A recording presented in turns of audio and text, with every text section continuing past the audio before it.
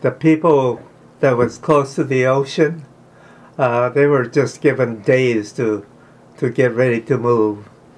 Uh, we, being further inland, had more time, and uh, we still couldn't believe that they could force American citizens out of their home with no reason.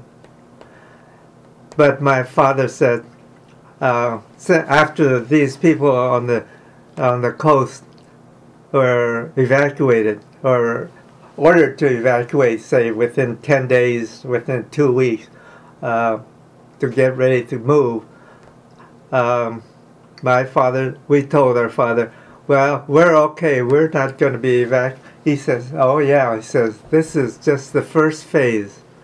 Uh, our turn's going to come here later